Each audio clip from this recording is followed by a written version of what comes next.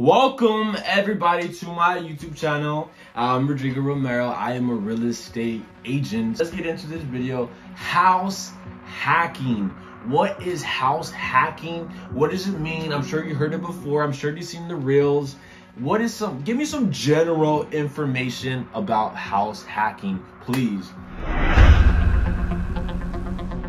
House hacking. Welcome everybody. What is house hacking? House hacking is a strategy that involves renting out portions of your primary residence to generate income that can be used as passive income and help you pay some of your mortgage.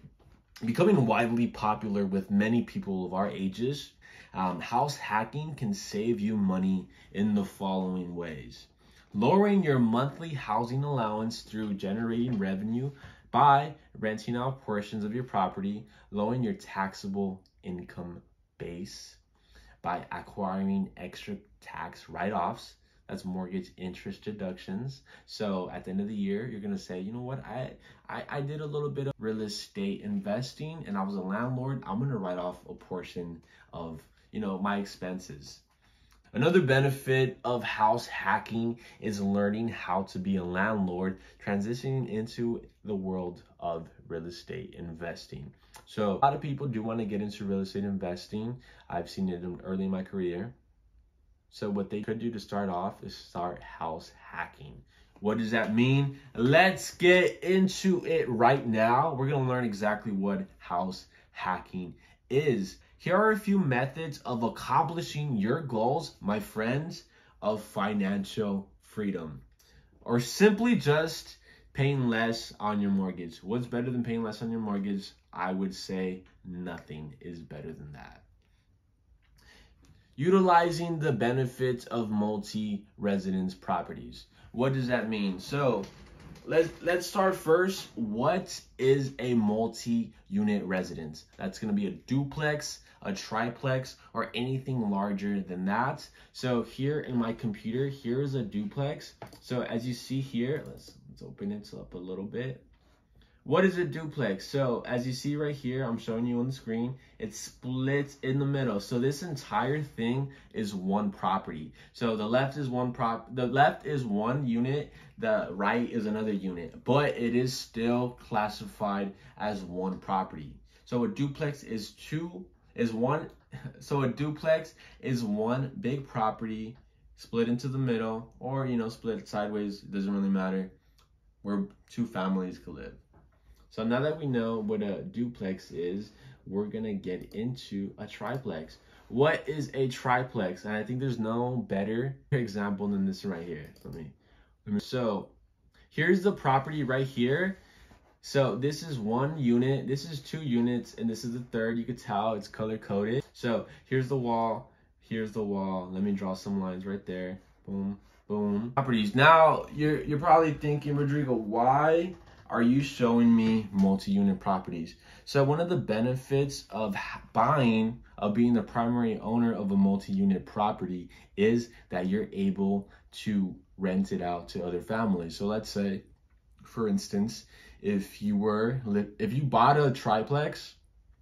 you live in one, you rent out other two, but the other two people, the amount that you charge them for rent is going to be enough to cover yours entire mortgage. So you don't you're basically living for free while being the owner or is going to pay a portion, a large portion of your mortgage. So you're going to be literally living on pennies to the dollar what's better than that? You're gonna be saving a lot of money, you know, especially if you work from home.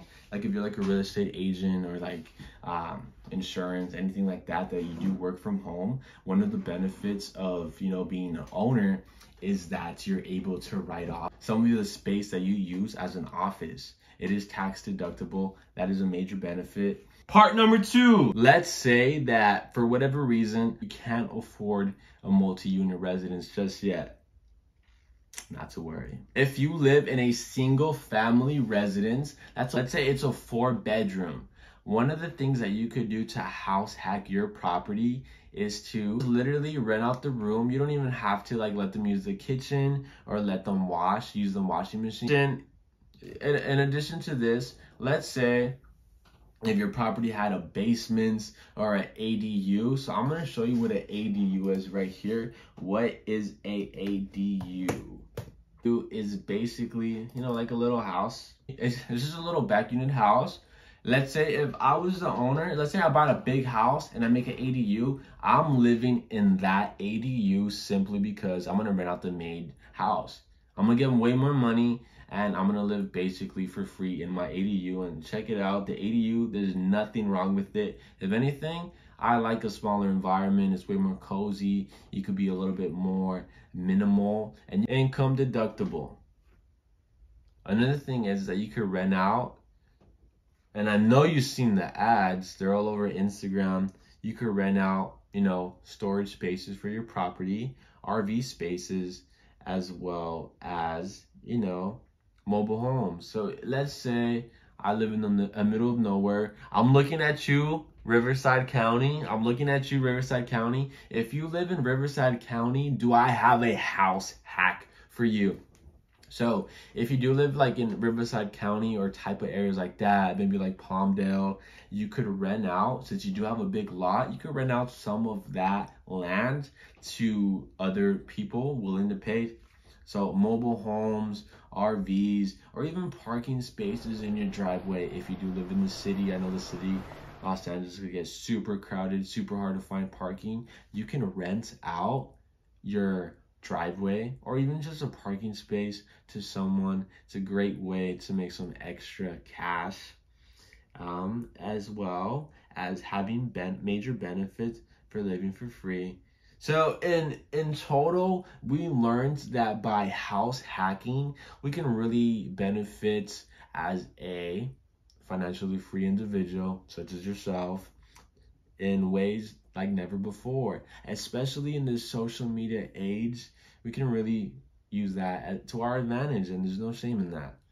So thank you guys for watching. It might not, I don't even know how long this video is going to be. It might suck. I'm still figuring out everything. I mean, if you stay tuned to the end, thank you from the bottom of my heart. I I really appreciate you. You know, I'm still getting everything taken care of. I want to do more. You know, I bought this mic. I hope that the quality does come out good. I'm you know, just just testing out little things, but I'm really excited. I do have a